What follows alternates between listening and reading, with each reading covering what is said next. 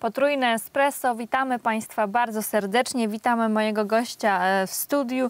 Teresa Pamuła, Prawo i Sprawiedliwość. Dzień dobry. Dzień dobry, witam serdecznie. I Bogusław Wątor, Nowa Lewica. Dzień dobry.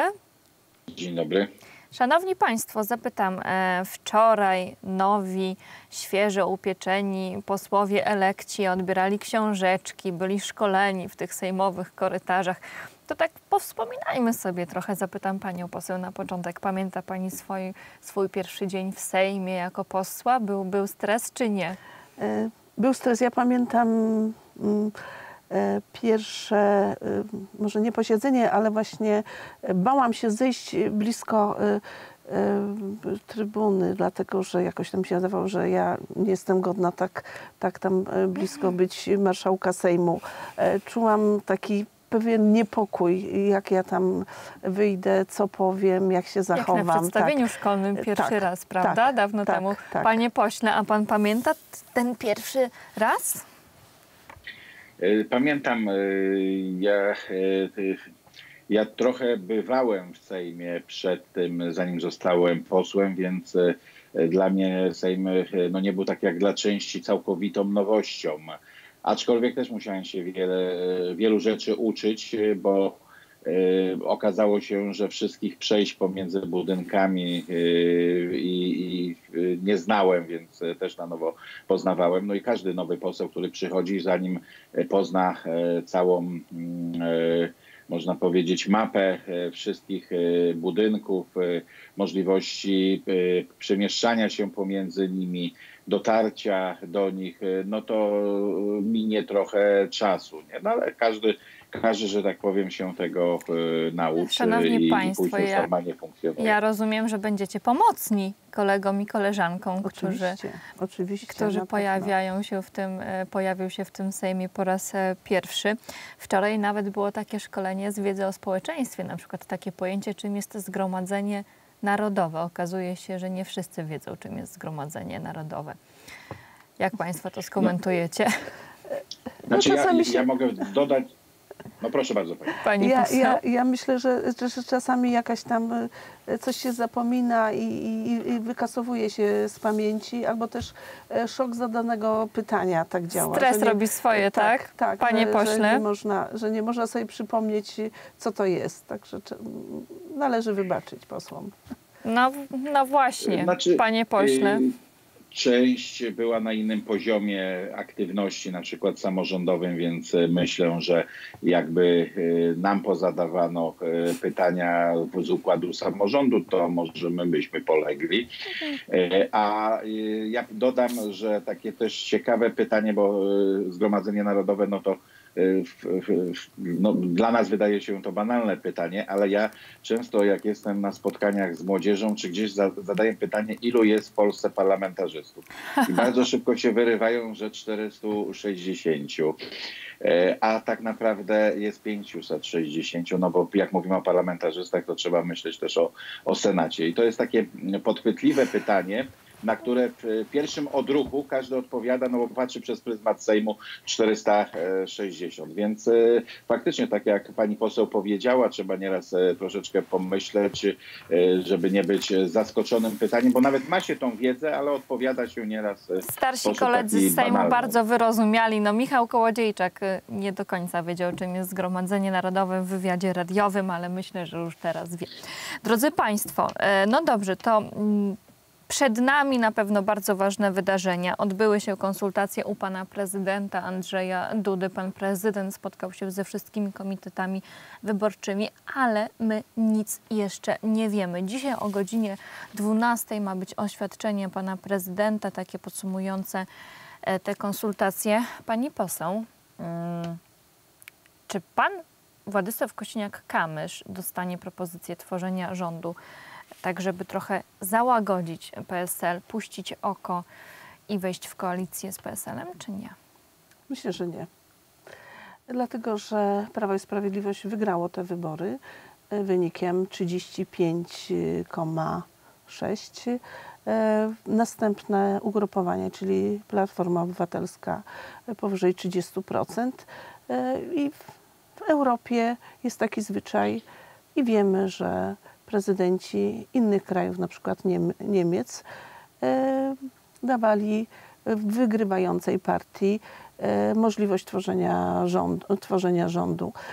Tak było mm, przecież z CDU, CSU, teraz z Scholzem, z panem kanclerzem Scholzem to E, właśnie e, Scholz e, dostał możliwość utworzenia, utworzenia rządu, mimo że oni wygrali chyba 25 z, z jakimś tam przecinkiem.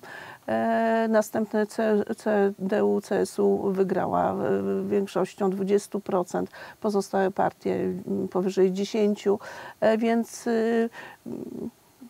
w 17 roku e, Niemcy przez pół roku tworzyli rząd z Angelą Merkel, bo też nie było tam e, ugrupowania, które zwiększyło taką większością, że mogłoby samodzielnie mhm. utworzyć, mhm. utworzyć rząd.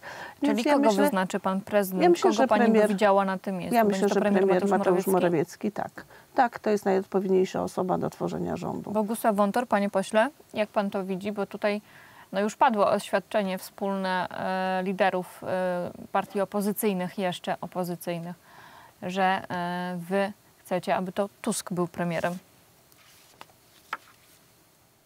Znaczy, lubię się trzymać e, pewnym e, zasadom, tradycjom e, i, i, i, żeby tego nie zmieniać. I idąc tym tokiem myślowym, no to faktycznie to, co pani poseł powiedziała, prezydent, zresztą tak jak zapowiadał, powinien największemu ugrupowaniu dać szansę do stworzenia rządu. Aczkolwiek no my dziś wiemy, że to jest no nie chcę powiedzieć, że niemożliwe, no ale powiem delikatnie, bardzo trudne i raczej niemożliwe. Panie pośle, do trochę wiary w kolegów z Prawa i Sprawiedliwości. Może się uda jednak. A w, w, jednak po drugiej stronie jest e, teoretycznie bynajmniej, no, bo zawsze sprawdzam na sali sejmowej, pokazanie, że jest ta większość. Więc e, tutaj jest faktycznie taki e, dylemat, co zrobić.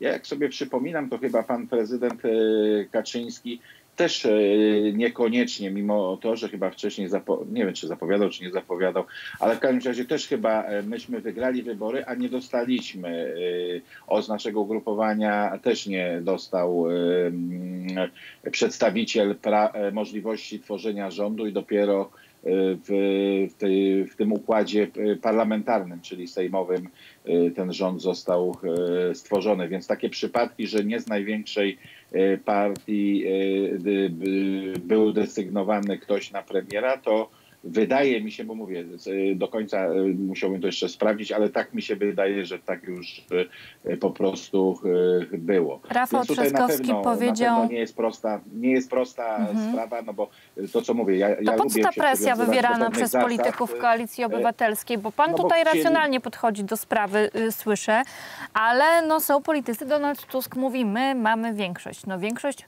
jest, ale w, no. kiedy zliczyć wszystkie ugrupowania, a nie szliście razem do wyborów na jednej liście, prawda? Y, tak, ale pa, y, pani redaktor, no trzeba też zrozumieć y, dzisiejsz, na dziś jeszcze opozycję, że no mają większość. To nie jest tak, że dopiero będzie po, po desygnowaniu przez prezydenta byłaby szukana ta większość i układane. No tu jest na tacy wszystko pokazane. No i też nie ma się co dziwić, że pan pre, przy, przyszły, myślę, że zostanie wybrany pan Donald Tusk premierem, chce zacząć zacząć jak najszybciej funkcjonować, pracować, tym bardziej, no, że. Tak, pan Siemioniak już powiedział, że są przymiarki projekt... w głowie przewodniczącego Tuska, który mając duże doświadczenie zachowuje je dla siebie. Kto będzie e, jakim ministrem? To już się dzielicie tam stanowiskami?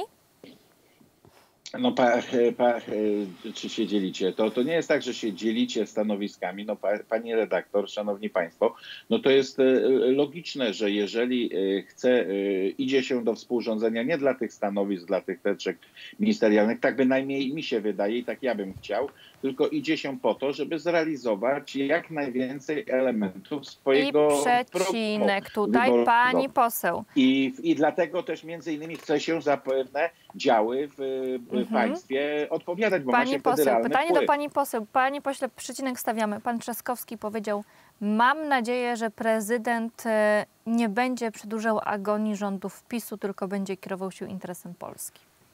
Pan prezydent na pewno kieruje się interesem Polski. To, A jak pani że... skomentuje tę agonię PiSu? Nie jest agonia, to nie jest na pewno agonia PiSu. Mamy 194 e, mandaty. E, to jest e, naprawdę bardzo dużo. Po ośmiu latach rządów mamy wynik, no oczywiście niezadowalający, niezadowalający nas jako Prawo i Sprawiedliwość, bo uważamy, że za tą ciężką pracę, jaką wykonaliśmy na rzecz społeczeństwa, to wszystkie działania i w dziedzinie i gospodarki, i w dziedzinie społecznej i obronności świadczą o tym, że pracowaliśmy e, przez ostatnie 8 lat e, jako i parlamentarzyści, i rząd e, naprawdę nad poprawą, e, poprawą e, gospodarki, poprawą e, życia naszych mieszkańców i to widać. To widać w małych miejscowościach, szczególnie u mnie na Podkarpaciu widać, jak pięknie rozwijają się poszczególne gminy, jak mhm. ludzie są zadowoleni, jak mają środki na to, żeby wyjechać na wakacje to jest y, właśnie Ta, o to jest za chwilę, o tych, środkach, o tych środkach za chwilę. E, Bogusław e, Wądor, panie pośle, e, to powiedzmy to głośno, na jakie resorty liczy Lewica? Czy to prawda, że Ministerstwo ja, Edukacji? Ja nie uczestniczę w tych dyskusjach w Y, koalicyjnych. Y, tam liderzy y, się ze sobą dogadują. No i na pewno każdy chce w tych dziedzinach, których chciałby dokonać zmian, liczy na objęcie Ale pan ogólnie mówi, ja bym, panie pośle, ja, pan jest bo, w lewicy już ja tyle bym, lat i jest pan tam tak, starym ale, wyjadaczem, pan na pewno wie. Ale pa, panie redaktor, ja nie chciałbym, bo uważam, że y, nie można, y, jak to się mówi, y, rozdzielać szaty, jak jeszcze Dobrze. są założone. Ale ja tylko, jeżeli Lewica będzie miała Ministerstwo Edukacji, to podręcznik to do historii i teraźniejszości będzie wycofany? Jak, no to to zobaczymy, no bo to jest wola, wola e, e, wszystkich jakby współrządzących, bo to nie jest tak, Ale pan się wie jak wąż tutaj. E, nie, no bo pa, pani redaktor, no ja dzisiaj nie jestem w stanie na szczegółowe pytania odpowiadać. Jeżeli mnie się pani pyta, e, to tak, oczywiście kwestie e, dotyczące edukacji powinny być zweryfikowane. Może ja nie jestem aż tak, takim radykałem, żeby tak jak niektórzy moje koleżanki aż tak głęboko sięgać, ale na pewno e, wiele elementów e, jest e, w edukacji do poprawienia. Rozumiem, a będziecie Państwo rządził, chcieli, a będziecie chcieli edukacji państwo... będzie ktoś z Lewicy, czy będzie z Platformy, czy z PSL-u, to mogę, mogę tutaj z paniami iść o zakład, że nastąpią e, e, korekty w tych działaniach, które dotychczas były. Jeżeli pani mi pozwoli, to ja bym e, tylko odniósł się chwilę do tego, co mówiła pani poseł, bo powiem tak, bo my cały czas mówimy o dużej porażce Prawa i Sprawiedliwości. No Prawo i Sprawiedliwość aż tak mocno nie przegrało. No jakbyśmy popatrzyli na ilość utraty mandatów, to nie jest Bóg wie to jak drastycznie, tym bardziej, że, że trudna sytuacja była. Z drugiej strony też te wybory wygrali, więc nie, nie jest uprawnione tak można powiedzieć, ostra nagonka na Prawo i Sprawiedliwość y, nie jest uzasadniona. To jest pierwsza rzecz. A z drugiej strony, no Platforma Obywatelska, patrząc na wynik sprzed czterech lat, to znowuż aż tak oszałamiająco nie wygrała, żeby w euforii i w zachwycie się Y, tarzać. Y, Pani Już poseł otwiera oczy szeroko ze zdumienia, że pan Bogusław no, Wątor taki pełen zachwytu co do y, PiSu. Nie, nie, ja nie powiedziałem, że pełen zachwytu, tylko staram się uczciwie podchodzić Sprawiedliwie, do, bardzo to szanujemy. do tej rzeczywistości. Powiem na koniec to, że w ogóle tragedią jest wynik lewicy, no bo to, co, to, co lewica uzyskała, no to, to pokazuje, że to między innymi, co ja głosiłem, czyli pójście w, przede wszystkim sprawy obyczajowej, światopoglądowej w to takim złym wykonaniu, nic dobrego nie przyniosą. A no czyja to, to jest wina w takim e, razie ta efekt, nie? tragedia lewicy, ten wynik lewicy?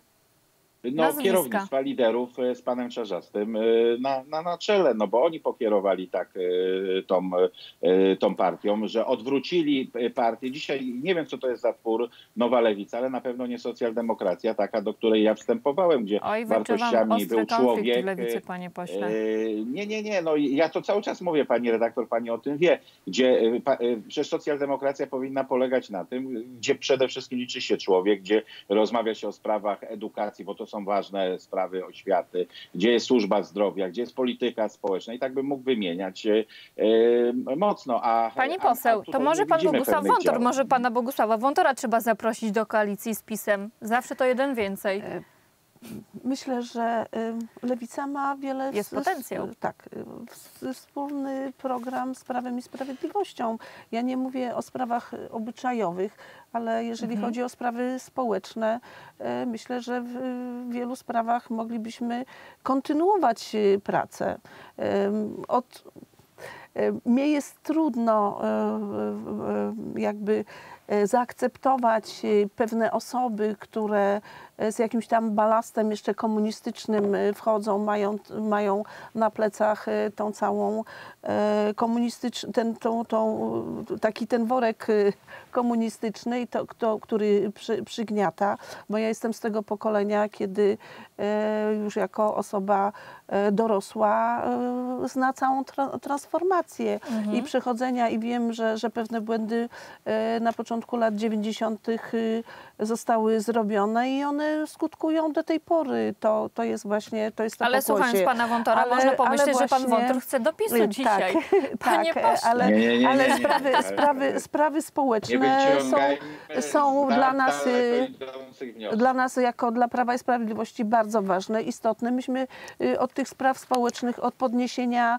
y, od wsparcia rodziny przede wszystkim zaczęliśmy. To, to 500 plus napędziło gospodarkę. Mhm. Drodzy to ten państwo. popyt wewnętrzny spowodował to, że powstawały y, nowe firmy. Tak, że... ale pani poseł, można się spodziewać, że to, co zrobił PiS przez ostatnie 8 lat, będzie po prostu e, grubą kreską przekreślane przez e, No, rząd to znaczy ten na kolejny, pewno- jeżeli nie wasz? No Na nie pewno wasz. Platforma nie pozwoli na to, żeby program 500 plus nazywał się 500 plus, żeby była 13 i 14 emerytura, co zresztą są już zapowiedzi. Po prostu jeżeli będzie coś chciał e, dać, to da e, w inny sposób, czy na przykład, Mhm. bo to są już słychać zapowiedzi liderów Platformy Obywatelskiej, że, że może to, trzeba się przyjrzeć, że ta 13 emerytura może to e, podnieść Okej. emeryturę o, o miesięcznie, że to nie, na pewno nie będą Rozumiem. Kontynuowane te programy, żeby po prostu wszystko zniszczyć to, co Bogusław PiS Wątor. i wy, wy, wymazać z pamięci. Bogusław Wątor, e, panie pośle, bo to jest ważna kwestia. Jeżeli e, macie być w jednej e, koalicji z PSL-em, to jak wy się chcecie, lewica, właśnie dogadać z tym PSL-em? Przecież tam kwestia aborcji jest jasno e, określoną też e, kwestią. No, politycy tego ugrupowania mówią zdecydowane nie, a lewica, bardzo dobrze też wiemy, no niektórzy e, posłowie z lewicy mówią, będzie trzeba przywrócić aborcję albo na życzenie, albo do 12 tygodnia. Pani redaktor, jak pani pamięta, e, SLD e, dwukrotnie z PSL-em e, rządziło e, i dogadywaliśmy się i te rządy były nawet rządami owocnymi, więc e, e, no, i na tym polega koalicja, że z e, pewnych elementów e, gdzieś trzeba e, zrezygnować albo nie do końca w pełni się je osiąga. No jak widzę E, e, tak dyskusję pana Miłosza Motyki z e, paną Anną e, Marią Żukowską na Twitterze, to ja mam, no niestety, ale duże wątpliwości, że tam będzie miło. No, podzielam e, punkt widzenia. Ja nie jestem radykałem w żadną stronę i, e, i uważam, że e, takie właśnie twarde, radykalne podejścia, nieszukanie kompromisu, no do niczego dobrego nie prowadzi. No my, my w Polsce zresztą taką dziwną politykę uprawiamy, bo najprostsza definicja uprawiania polityki to jest umiejętność zawierania kompromisów. No i jeżeli ktoś załóżmy wychodzi na mównicę i bije pięścią w, w trybunę i mówi, że nawet na centymetr się nie cofniemy, czy nie cofnę, czy tak musi być, jak ja mówię, nie szuka tego kompromisu ze wszystkimi no, ze stronami, no to się do ważna sprawa, panie pośle, ale to za chwilę o rachunku sumienia na Nowogrodzkiej jeszcze trzeba, porozmawiamy. Trzeba po prostu się dogadywać. No, polityk, ale zgodzi się pani, no, że polityka na tym polega, że trzeba się ze sobą no, dogadywać. Tak, trzeba o, o dogadywaniu się za chwilę, bo, bo mamy przedstawicielkę PiSu, a to też jest ważna kwestia. Ale ja zapytam pana, panie pośle, jeżeli pan jest tak krytyczny e, co do e, kolegów też z lewicy i pana Czerzastego, powinien pan Czerzasty zrezygnować e, z funkcji lidera, czy nie? No do tej pory u nas na lewicy tak było, że jeżeli wybory były wyborami przegranymi, czyli patrz osiągnięty zdecydowanie słabszy wynik, to przewodniczący podawał się do dymisji. No, no i teraz co będzie? Tak było przy Grzegorzu Napieralskim, kiedy y, przegraliśmy wybory. Y, Grzegorz Napieralski podał się do dymisji. No i jeżeli ma w sobie pan Czarzasty no, honor i jest człowiekiem z klasą, no to tak powinien zrobić. A ma honor czy nie? Zobaczymy. E, pani poseł, na Nowogrodzkiej, no tak, e, o rachunku sumienia porozmawiajmy. Na Nowogrodzkiej czytamy wczoraj tytuły po tym, jak dowiedzieliśmy się, że pan Krzysztof Sobolewski no, rezygnuje ze swojej funkcji. Trwa rozliczanie, ścinanie głów?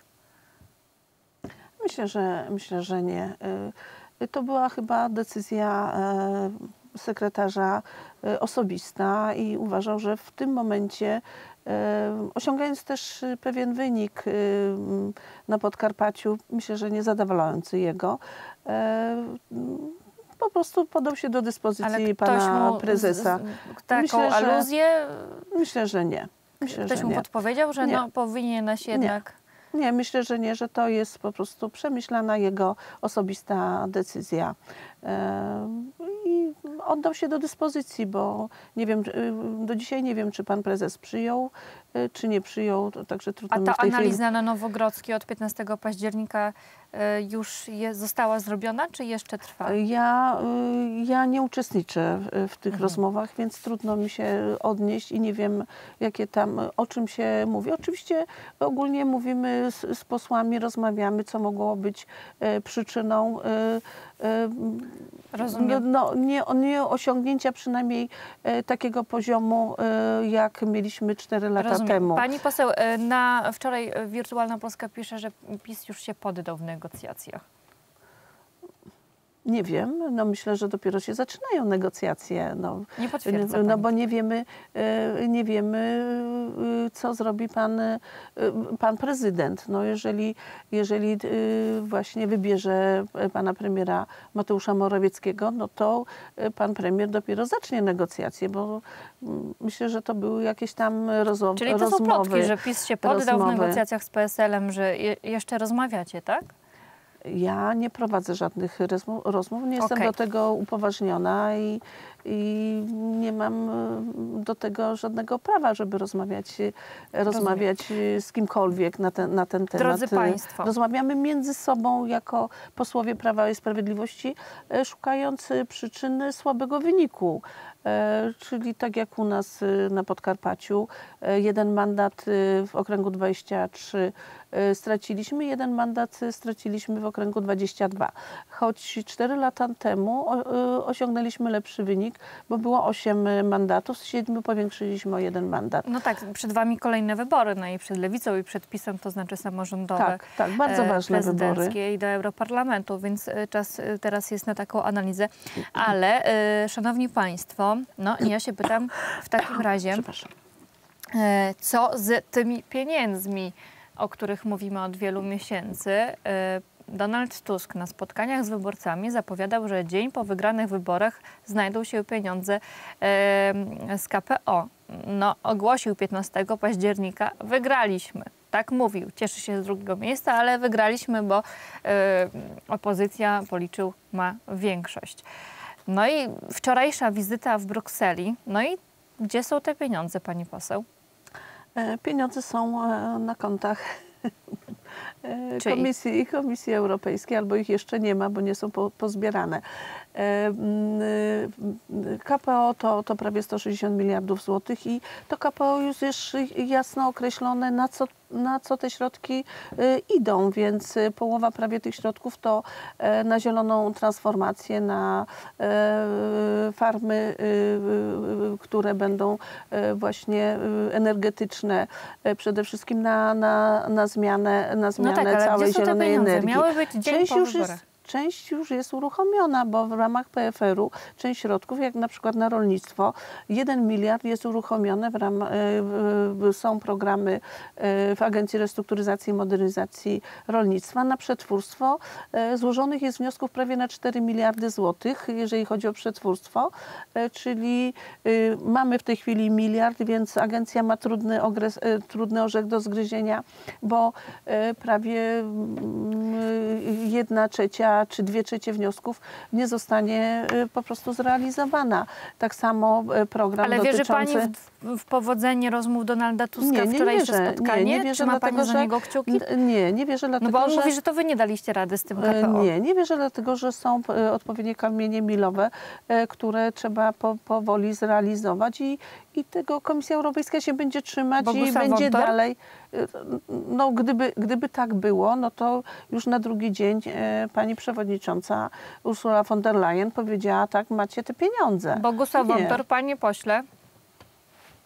E, pani redaktor, szanowni państwo, e, wypowiadający się politycy, przede wszystkim e, koalicji obywatelskiej, mówiący, że dzień po wyborach będą te mm, środki na kontach Polski, no mówili to przenośni, no bo to jest logiczne, A, to co pani przenośni, poseł... tak jak pani Lubnauer powiedziała. No tak, przepraszam. Przenośni. Nie, no ja, ja tak pani redaktor uważam, bo to jest logiczne, że nie ma takiej możliwości. Zresztą tu się zgadzam z panią poseł. Nikt w Brukseli nie uruchomi tylko dlatego, że załóżmy nastąpi zmiana rządu, nie uruchomi tych środków. To Polacy Muszą nie zrozumieli chyba, to żeśmy nie zrozumieli muszą być tej spełnione y, reguły. Myślę, że zrozumieli y, i muszą być spełnione reguły.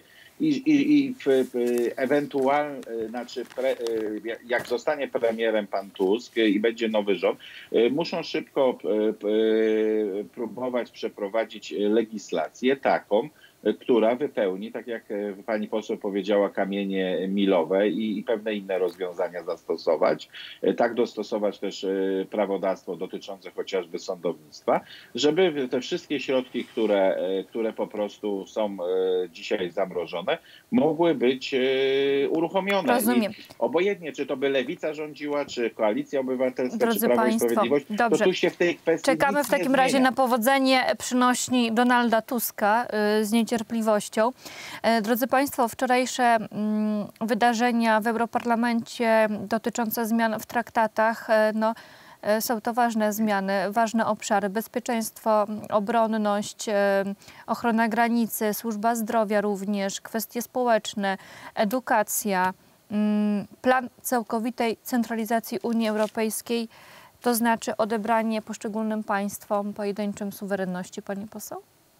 Tak, to jest początek. Y, Komisja e, przyjęła raport. y, e, Ten raport ma prawie 300 artykułów, y, można tak nazwać, prawie 300 i dotyczą właściwie najważniejszych spraw dotyczących e, poszczególnych państw. No przede wszystkim nie ma być prawa weta i to jest bardzo e, złe, dlatego że małe państwa, typu Litwa, Estonia, e, Węgry nie będą miały nic do, do powiedzenia. Trzeba, oczywiście tam oni się zasłaniają, że to czy czwarte głosujących, czyli taka zdecydowana większość będzie o tym decydowała. Ale ja się nie zgadzam osobiście i myślę, że Prawo i Sprawiedliwość nigdy się nie zgodzi na to, żeby e, o obronności, e, o polityce zagranicznej decydowano w Brukseli, bo My mamy doświadczenie, e, doświadczenie komunizmu i centralizacji z Rosji z Moskwy, więc to będzie na takiej samej zas zasadzie. Ale patrząc już po, po działaniach nawet i KPO, w jaki sposób y, y, y, Komisja Europejska próbuje e, narzucić pewien tok myślenia poszczególnym państwom i po prostu muszą y, na przykład prawodawstwo zmienić, gdzie na przykład prawodawstwo w Niemczech, gdzie sędziowie są przecież wybierali przez partię rządzącą i nominowani przez partię. No to tam można, u nas nie można, gdzie wiadomo, że tylko część y, sędziów jest I- e, w ten sposób e, I nominowana. panie pośle, e, jeżeli mm, te traktaty mm, rzeczywiście, te zmiany w traktatach e, rzeczywiście e, będą miały no, w praktyce przełożenie na, e, na bardzo ważne też kwestie, takie jak edukacja, to znaczy, że to unijni politycy będą pisali programy e, nauczania do polskich szkół. E, Bogusław Wątor, jak pan to ocenia? Te zmiany ogólnie? E, Pani redaktor, panie poseł, szanowni państwo. Pani e, poseł tak dosyć dobrze nam się do tej pory rozmawia, pojechała bardzo mocno politycznie. To nie jest żadna centralizacja. Trzeba powiedzieć, że to jest usprawnienie funkcjonowania Unii Europejskiej. Ja dam taki przykład, bo najlepiej na przykładach. Bo Niemcy będą decydowały, tak? Jak rządził, a jakby mi pani pozwoliła, pani redaktor. y, Bardzo i- proszę. nie, właśnie tak nie jest. Ja dlatego y, pani, dlatego mówiłem, że pani poseł, bo widzę, że się bardzo dobrze orientuje, a, a troszkę tutaj prze, przekłamuje. Ale zaraz do tego przekłamywania dojdę. E, e, Zaraz pani powiem, bo pani dobrze wie, że głosowanie e, w, e, w Unii Europejskiej e, na posiedzeniach premierów, czyli Rady Europejskiej, no nie jest jeden do jednego. Tam są różne e, układy większościowe i e, małe państwo też ma swoje e, do powiedzenia, bo to nie jest tak, że duży dy, dy, robi dyktat i e, o pewnych No tak rzeczach decyduje, bo, bo są Nie, nie, nie. Y, Są, no bo przekonuje, trzeba rozmawiać i on przekonuje i, i, tworzy. Większość y, któ- y, zbiera te, y, te głosy, patrząc na państwo, jaką ma siłę, żeby po prostu pewne rzeczy przeforsować.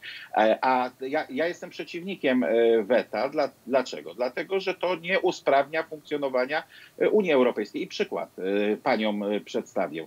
E, Jak był poprzednio premierem pan Donald Tusk, wetem zablokował e, p- projekt zbudowania układu energetycznego w całej Europie, żebyśmy byli zabezpieczeni.